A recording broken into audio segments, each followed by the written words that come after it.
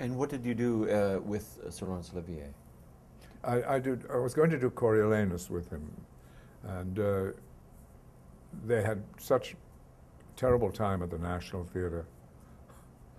Um, it was Larry was on his way sort of slowly out when I, and it was such a backbiting scene back there. It was, it made the ballet world suddenly look like a sort of tame little shop at Sly Corner.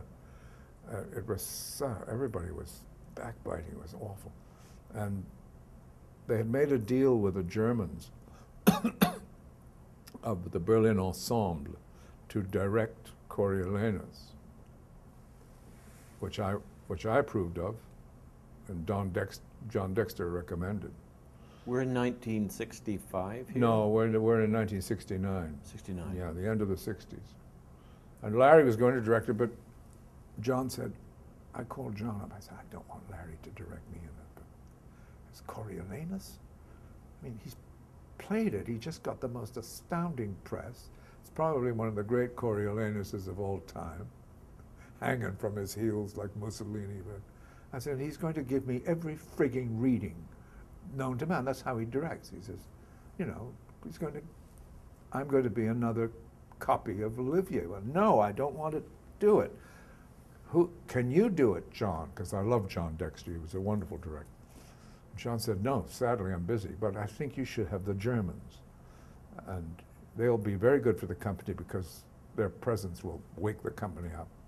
They're all rather lazy at the moment. They need, a, need somebody to shake them up. And then I said, that's great. Well, the first week, I'm, I'm rehearsing. I know it. I, have learned most of Coriolanus, and I'm rehearsing it. And the, the directors are asleep at the back. I thought, what's the matter? They're not even directing. And I look at Dennis Quilley, who's playing Tullus Aufidius. says, what's going on? He said, I don't know.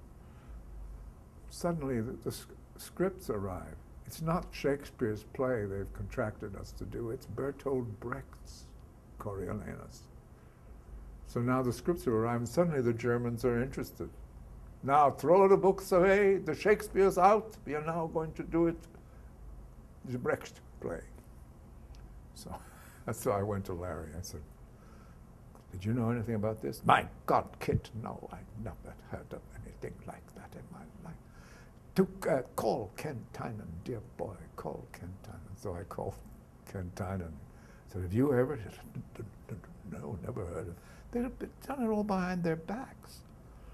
Wow. The things were going on there that were unbelievable. Wow. So I didn't do Coriolanus.